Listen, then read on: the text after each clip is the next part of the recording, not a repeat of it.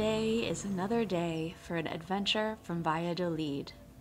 This time to Ek Balam.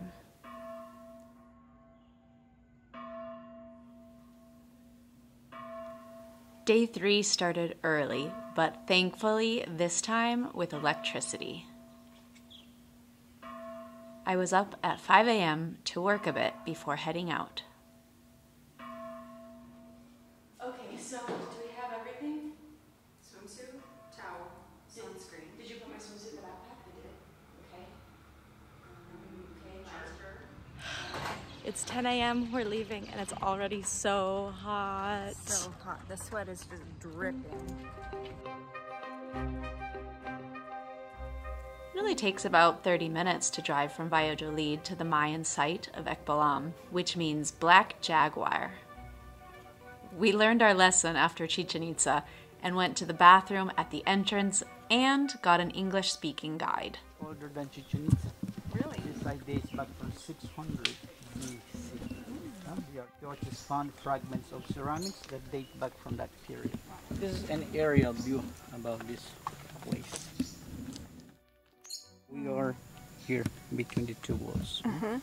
So this is the, main gate, the oval palace, the twins, the platform with two stelas, the miniature temple, the ball court, and this is the main building. So when the archaeologists got here in the a in the 19 84 all the buildings looked like this one completely covered by the vegetation. Ek Balam is about 12 square kilometers but only one square mile has been excavated. Our guide explained to us how the remaining structures we can't see still remain under thick jungle. Like here, there's another temple they haven't Oh, wow. restored. Yeah. So here, as you can see in the city center, there are five entrances. So each one in the four cardinal points, but on the south there are two. So this is the first, and the second is in the in that direction. mm. But this one is considered the main gate to the city center. It is believed that one walked backwards to enter the city out of respect to the gods.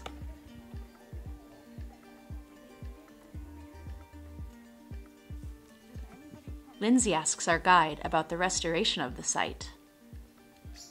For example, the way the archaeologists figure out how was the buildings is like on the buildings they've restored, Uh-huh. we can appreciate the way that the like my ancestors built the temples. In the core, they used just regular stones, and on the facade is where they used the carved limestone stones and The fancy yeah, stones. and they have dif- they have different shapes and different sizes. For example, as you can see, they numbered the stones uh-huh. because they found that wall partially collapsed. So they numbered them, they took the uh-huh. photograph, they removed them, and then they put them down. Ah. And that section has been completely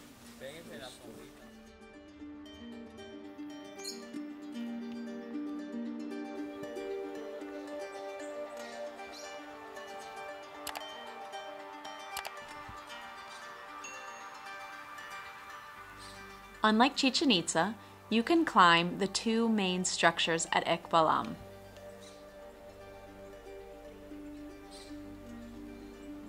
One of the first structures you'll see upon entering is the Oval Palace, which is believed to be related to astronomy.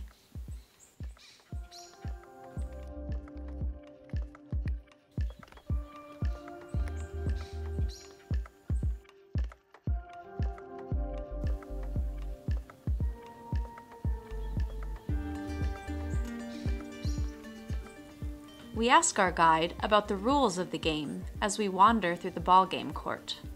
So in this one, like it's smaller. So in this team there were about four or five players. Okay. And like the one in Chichen Itza is way bigger. Yeah. So they had bigger teams and bigger games. Yes, exactly. yeah. And what did they use for a ball? They used their ball made of rubber tree. This ball court used to have rings, and Uh-huh. the rings used to be over there, where the stones are missing. In each team, there is a captain, and the captain used to play on the platform, and the rest of the team on the center. So they try to keep the uh, the rubber ball in constant motion, Uh-huh. hitting with the knees, with the hips, with the elbows, no hands, no feet.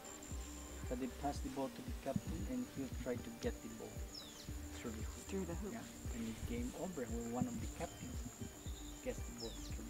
One time? Just one time. About this game, there are two theories. They say that the winner is sacrificed or the loser. But until now, this we don't know exactly which is it. Our guide finally leaves us in front of the largest structure in Ek Balam, known as the Acropolis, which is even taller than Kukulkan and Chichen Itza. The tomb of the Mayan king Ukit Khan Lektok lies inside this Acropolis, and on each side you can find an intricate stucco facade. We climb the 106 steps to the top. What'd you think about that climb? Easier than I thought, actually. Really? It looks really intimidating, but it's actually pretty fast. But I'm out of breath. 106 steps.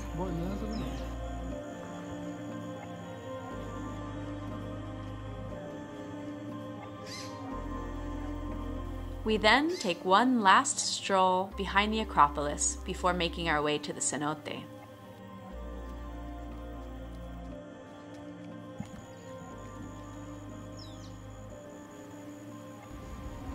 Cenote is just one and a half kilometers down a dirt road from Ek Balam.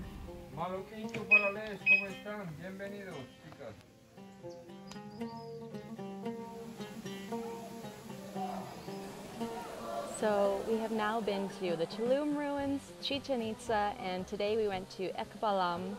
And so far, I think our favorite is probably Ek Balam. Yep. They were all cool, but Ek Balam had less people, no tour groups. You could climb the stairs, a lot of shade, a lot of trees.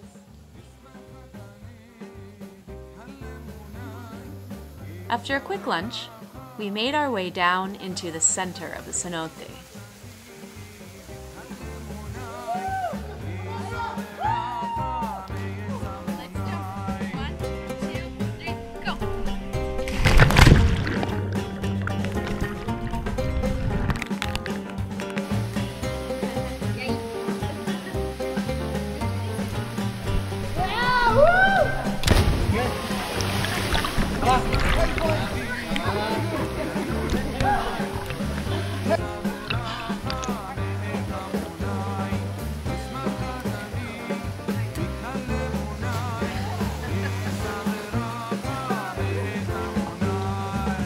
It's finally time to leave, and we say goodbye to our new friends. Adios!